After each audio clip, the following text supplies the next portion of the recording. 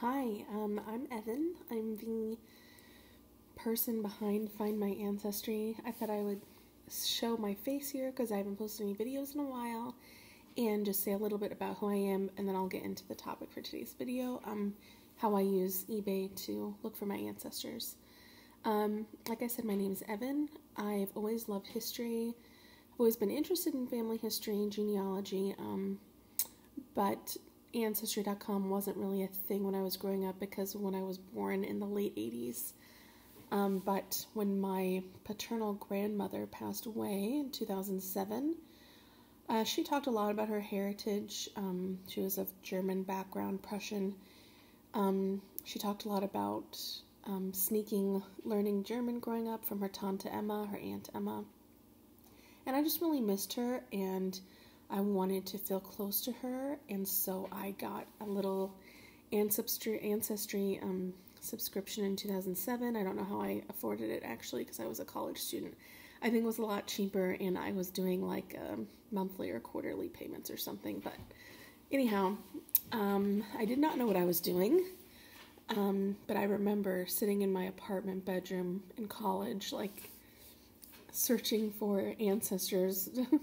I don't think I knew any friends who were doing that. So, um, which I didn't understand. I don't know how anyone can think their family history isn't interesting. Um, and since then, I have, so 2007, what's that, like 16 years ago? I'm all self taught, but I have learned a lot in that time. Um, I've done the hobby pretty consistently off and on that whole time, rarely taking more than, don't know, I guess a year off would be like my biggest gap in, in research.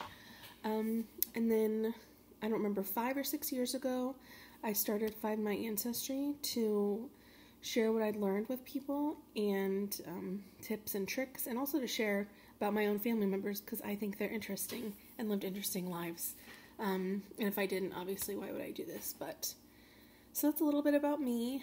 Um, I consider this work to be really my life's work, other than being a mom and wife and my day job, I'm actually an attorney. Um, but I really think of the work I'm doing to research and preserve my family history and genealogy for future generations. I think of that um, as really as my life's work. And recently I've started realizing the amount of information I've amassed and started really organizing it for the first time using some tools from um, Family Tree Notebooks um, it's an account on here, and she has a social media account. And I'm so sorry her first name's escaping right now, which is terrible because I've been following her for years. But look up Family Tree Notebooks. I'm not an affiliate of hers or anything, and just she has really great tools. And I'm not naturally organized. She is like, I really look up to her for being a really organized person, especially when it comes to genealogy. So that's a little bit about me and where I'm at right now. And I'm going to share a little bit with you about how I research ancestors on eBay, which um, I think it's getting a little more popular, but it's definitely not the first thing people think of when they start researching their family tree. Um, and it is a little bit unorthodox, the things I'm looking for and finding. I'm not um, using it like Ancestry where I just type in, you know, a name and a location. I might do that. And I'm not looking for the same types of records. I'm looking for things like um, what's called ephemera, like um, pictures or um, tickets or directories, um, postcards, books, things like that. So yeah, I'm not looking like for census records like I do on Ancestry. Although there are some census records I've seen on eBay that I have not seen available um, on Ancestry or Family Search. So I'll get into that a little bit later. But for now, I'm going to switch to a um, picture of my screen to show you some things I recently bought and how I'm using them for family history, and I will show you one of them at the end. On my eBay, and this is some of my re- these are some of my recent purchases. The first thing I'm going to show you is the picture I told you about. I'm going to click on that here, and it is. I'm going to scroll down here because it's sold. So here we go. So, this is a real photo of Devon, Kentucky's Doherty Store gas station postcard copy. Got a lot of keywords in that title. So, I'm going to hover over this photo just to show you all the really neat details. They sold groceries, meats, looks like there's gas. It's a general store. You got the cool old Coca Cola sign. There is, I don't even know if that's a woman or a man, but probably a man if I had to guess. The owner, the proprietor. There's an old ladder over here. Oh, and there's a man. I just noticed this. Wow. There is a man at the top painting or repairing, doing some kind of repairs to the building. So, how does this pertain to genealogy? I think I already mentioned that this is probably not any kind of direct ancestor of mine. However, I am related to the Dohertys of northeastern Kentucky. This is very close to the area that I'm looking in, the county and the town. The spelling of the name is right, the surname is correct. There are a lot of different spellings of Doherty. You might even be a Doherty yourself. Um, given that the name is right and the spelling and it is the geographic location that I'm interested in, I'm kind of confident that this would be a, at least a distant cousin of mine. So that's still really interesting for me in terms of researching my genealogy.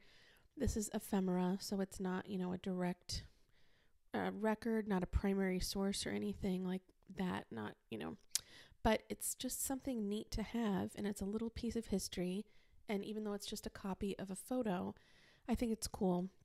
I'm going to frame it and hang it in my office along with some other genealogical things. And for $11.99 and a couple bucks for shipping to own a little clip of history, that's definitely worth it for me.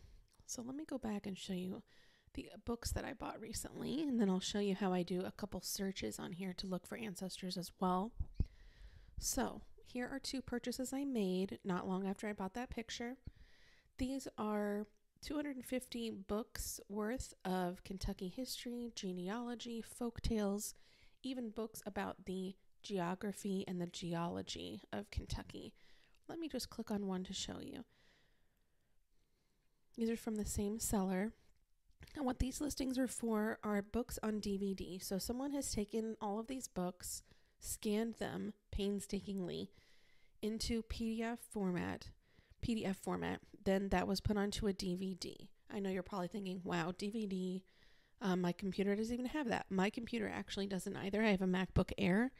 So, what I did and what you can do if you want to buy books like this on DVD, go ahead and purchase it. You can take it to a library, um, another place, any place you can get access to a computer with a CD drive. What I did, and you can do this too, I borrowed a laptop that had a CD drive. My dad's laptop happened to have one. He has an old, inexpensive laptop he really doesn't use much. That's what I did. And another option for you, if you have a Mac and you don't mind investing in a piece of equipment that you might use again, um, Mac sells these little, they honestly look like DVD players, but they can be hooked up to Mac computers to get access to DVD and CD discs. I forget the name of what they're called. That's another option. So, what I did was with my dad's laptop, I put the CD in. Then I bought a little flash drive off of Amazon with lots of memory on it, and I can link the flash drive in the video notes. Um, at plenty of memory for all 250 books with lots of memory to share. I put that in at the same time as the CD. I just went to the computer um, devices on the computer and I dragged all the files from that CD drive to the flash drive. And now I have it. I can use that flash drive with my MacBook Air to go through these books. And let me show you what some of these are. Society, Kentucky Society of Colonial Wars, History of Jessamine County, Louisville, A Glimpse of Kentucky, History of Kentucky. I'll just scroll through a few more, give you an idea here. So, I haven't found any of my direct ancestors yet in these books, but if you were to find one, here are some things you might find. Here is a cool little sketch portrait of this guy. Can't even read the name. Let me go up to this one. Okay, well, here we go. Famous one, Daniel Boone. Let's say you're related to Daniel Boone. He's going to be in a lot of books, but this one in particular has this neat little sketch. This is the life of Daniel Boone founder of the state of Kentucky. And we have this guy over here, Colonel William McKee, Rockbridge County, Virginia. So this is actually the McKees of Virginia and Kentucky. So that's interesting because if you're looking for someone from Kentucky, like I haven't typed in Virginia, but because I looked at Kentucky, this book popped up. So don't forget to search nearby states when you're doing searches and not just the ones where you know your ancestors lived because there's a little bit of overlap. That's something I need to keep in mind myself. I'm going to show you another page of portraits from one of these books. Fayette Hewitt, Charles Hodge, William No, W.F. Peak. You can read the names underneath the portraits. Obviously, a disadvantage in this type of thing is there's probably not going to be any women in it. Uh, for doing female research, it is a little harder, but if you can find a husband, then you can usually eh, hopefully find a little bit about the wife as well. And unfortunately, that's just the reality of researching people from the 19th century and beforehand. So this is interesting. I'll see this little guy's portrait, and you see his name's Doherty, W H Doherty, MD. Again, he is not a direct descendant of mine, but I am pretty sure he is a cousin, and I'm trying to figure out how we're related. In fact, his picture is familiar to me. He looks, he resembles some of the ancestors that I have pictures of from the same time period in the same area and name. So I'm fairly confident we are distantly related, and that alone to me is worth the price of what $12.99 for all of these books. I mean, think how cost effective this is how much it would cost you in terms of not just money but time and effort to find 124 books of this type. And this is just volume 1, so I got about 250 of them. Oh, there's a woman I want to show you. So here we go. Virginia Staniford Caperton. Now that is a really neat portrait if this is an ancestor of yours. If you have a very prominent female ancestor, you're obviously going to have better luck finding them. But even then, it's I find it to be quite rare. Some other book titles Reminiscences of a Soldier of the Orphan Brigade, Early Catholic Missions of Kentucky, Life in the Hills of Kentucky, going back to the Catholic Missions of Kentucky. Our ancestors didn't live in a vacuum, they had beliefs and belief systems, and searching things like church records and books about religious denominations of the time and the area your ancestors lived in can be a really good way to get an idea for their lives, and you might even find names in some of these. Let me scroll on a little bit more. Now, this book is really neat, has an actual genealogy of the Boone family. So, if you are a Boone, I mean, this type of thing would be a must have, in my opinion. And in fact, if you are a Boone and you happen to be watching this video, just let me know and I will somehow get you the files. No problem. Because these are really neat and people should have them. So I could go on and on about this, but let me go back to the other listing and just show you I got another 126 books. Such a steal. So with shipping, even paying for the flash drive that I had to buy, let's say I spent a total of $35 to have 250 books. Who knows how long it'll take me to sift through all of these to try and find the things I'm looking for. But that I'm just looking forward to as a family historian. And that's what I love to do. So look at this beautiful cover the Bluegrass region of Kentucky. Of course, I don't own the covers. That would be awesome. But honestly, I don't know many people who have the room in their houses to keep 250 books like this. That maybe in my next dream house or something. Kentucky history, Sisters of Charity of Nazareth, Kentucky. Let me try and show you a few more before I go and move on to how I do searches for other things. This is neat. A biographical sketch of Colonel Richard Johnson liberating an unfortunate debtor back when there was a debtor's prison. So, this just gives you an idea. Kentucky superstitions. I mean, this is really what I mentioned geography and geology. There's Mammoth Cave. This just really kind of a well rounded selection of books, and I'm so excited to dig into all these. I have started searching through the PDF files just by name, looking up the names that are my surnames I'm interested in, like Cofer, Doherty, McClure, Farmer, Collins, Callahan. Um, and I found a few matches, so that's exciting, but it will take me years really to pour through all these. And again, for $35, you just can't beat it. Moving on, I'm going to show you a technique I use to find photographs on eBay.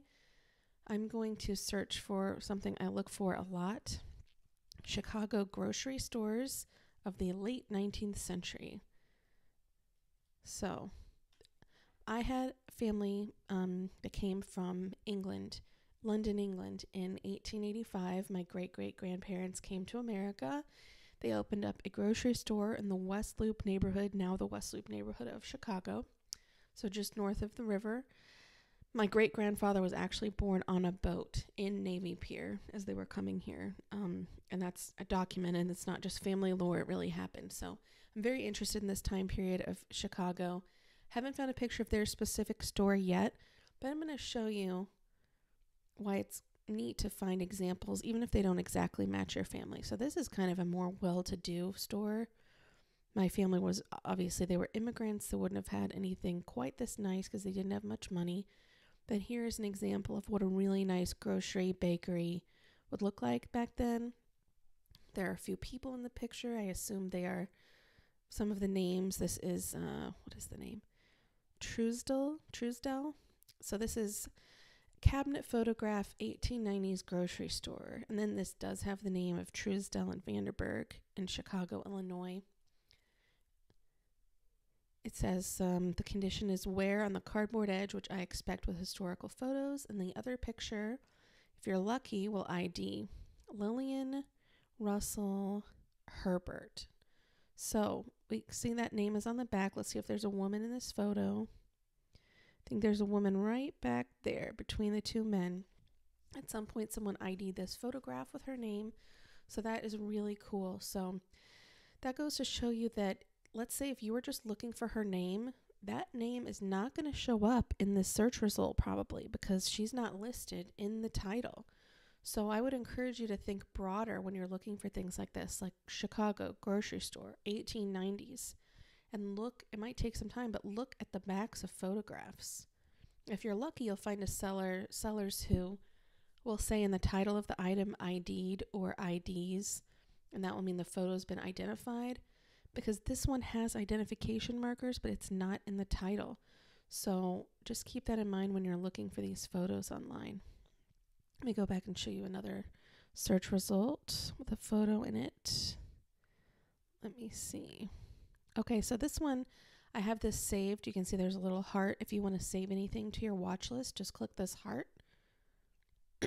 That'll be saved to your watch list. I'm going to click on this picture of Chicago's South Water Street Market in 1910. It's a postcard copy of an old photo, so it's not an original. Again, that really doesn't bother me for my purposes. So this is not too far from the area my family would have been, and when they had their grocery store, and theirs were probably more like these, not quite as fancy, a little more small potatoes, I guess you would say, but this is the open air market. And you can see what Chicago looked like. I mean, there's horse drawn carriages in Chicago in 1910. That is neat. You can see what people wore, an idea of kind of the hustle and bustle um, of what that looked like for them. So I can kind of picture what my ancestors' work lives were like in running that family grocery store.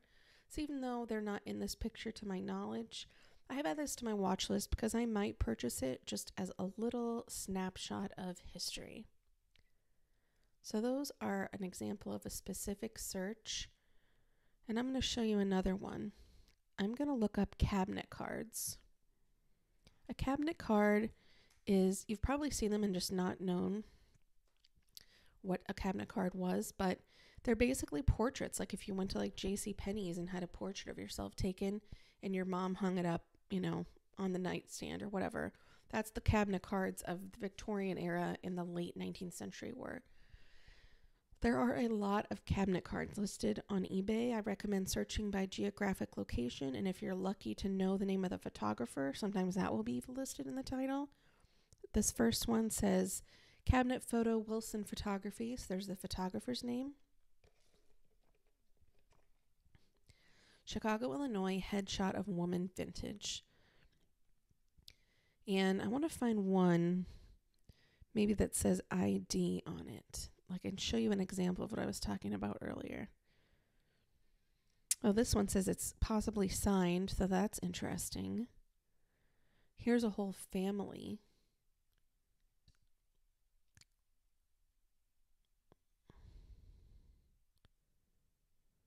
Now, here's a post mortem wreath and photo. So, it's a picture of the wreath from the funeral, and his photo is inside of it.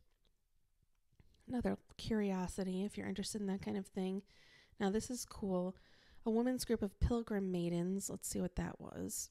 so, if you knew you had a female ancestor that belonged to this group, you could search Chicago Pilgrim Maidens. She's very serious looking. All right. And then there's some close ups of each woman. And then, yes, we're really lucky. So this has been ID'd. Here's what I wanted to show you. This title ID. That means the photos have names or a name on the back. Obviously, we can't really know for sure how accurate they are. Some of them are incomplete. They'll have one name and a picture of 10 people. But if you want to definitely narrow that search down by IDs, you can try that. But again, keep in mind that first picture I showed you of the grocery store that had the ID on the back, but it didn't say ID in the title. So don't lose hope if you see a picture that does not have ID in the listing. Make sure you look at the back because there might still be ID on it. Here are the names uh, Mildred Alden, Dorothy Fuller, Priscilla Allen, Alden, but Beatrice Neely, and Faith Putnam. So this would just be just an awesome find if if these were your relatives and you were looking for them i will warn you some of these types of more specific things especially items that have ids on them are more money but if you're like me i i to be honest i probably would not think twice about buying this i may make the uh, seller an offer this one doesn't have it on this listing but a lot of eBay listings are a certain price or best offer. And I would recommend not insulting the sellers with your offers. Maybe go 10 to 15% lower than the asking price. Um, but sometimes you can get a deal that way. I'm going to show you one more search. Oh wow, look that before I do that, look at this. An antique cabinet card photograph the first black American nurse in Chicago. What an incredible photo. Artie A. Polland. Now, this is very, very, very expensive. This is a piece of history, but again, this just goes to show you like the treasures that are on eBay when it comes to history, genealogy, and family history and researching your family tree. Now I'm going to show you a little bit about how to look for family Bibles on eBay. Family, I'm going to do a search of Family Bible Indiana. I am from Indiana. I want to see the listings in Indiana. You can also narrow it down by name. I'm just going to go by location. So, book family maps of St. Joseph, Indiana. That's not a Bible. Here are, let's see, if you were from Jasper County, Indiana, here are some Bible records that have been volumized, and that's very neat. But here's what I wanted to show you. And these will be more expensive, but you can find real, true antique family Bibles. And like I said, I've seen them listed as high as $1,500. So, eh, you know, they're pretty expensive, but again, if, if I found one that I knew was my ancestor, I would think very seriously about purchasing something like this, it's, it's basically priceless in my opinion. I mean, look at the back there, are family portraits. That's incredible. I mean, they're not ID'd, but if you know more about this, to me, you basically can't put a price on it.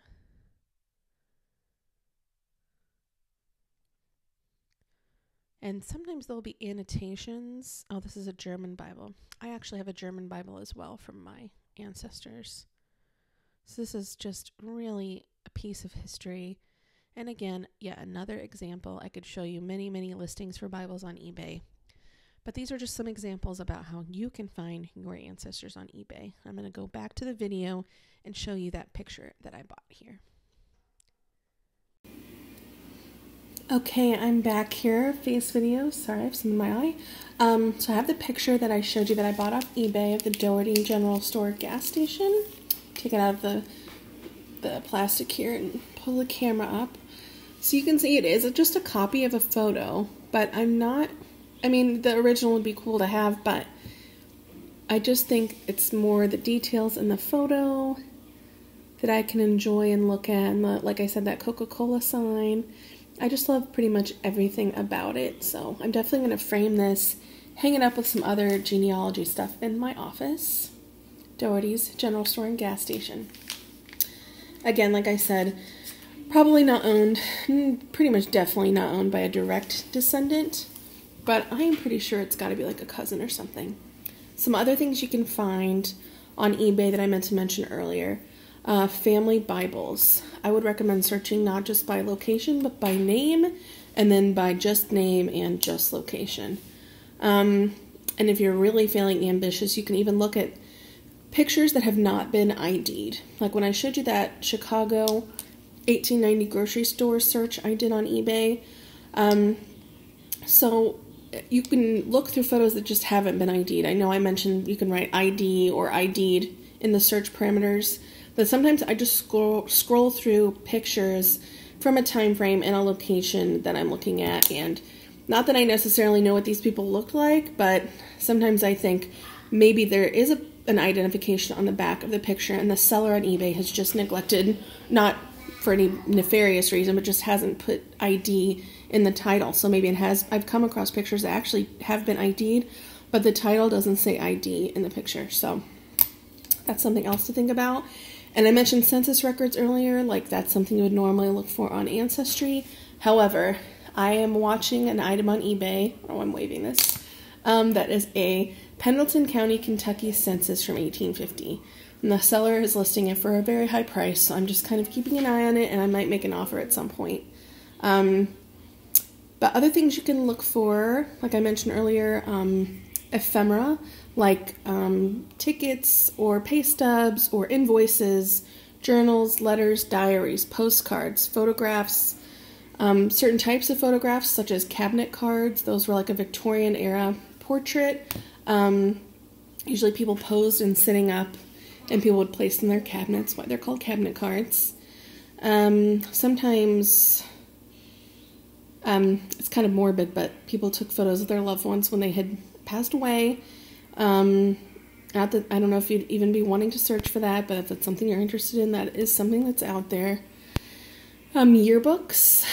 Um, I mentioned family Bible, Bibles also. Um, items from family reunions. I came across a whole bunch of pictures from an Amos family reunion in Indianapolis. My paternal grandfather's last name was Amos. We are an Indianapolis family, so those were my family pictures. It was really cool that someone who wasn't related to us purchased them at an estate sale. Otherwise, I'm, they probably would have just gone in the trash. So that's something else you can look for. But when it comes to eBay and genealogy, one thing I would say is just think outside the box. Don't get hung up on looking for Joe Smith, born in this year, died on this in this year in this place. Be a little more broad in your search terms, at least to start, and then narrow it down if you want. And don't forget things like this can just be fun. That's not my ancestor, but it's something that calls to mind what their you know their lives would have been like in the location that they're from. So. I think that's it for me for today. Thank you for sticking around. I know I haven't made a video in a while. I'd like to do more of these. Let me know in the comments if you'd like to see more, what you'd like to see. Um, yeah, happy hunting. Hope you find everyone and everything you're looking for. And don't forget to look on eBay.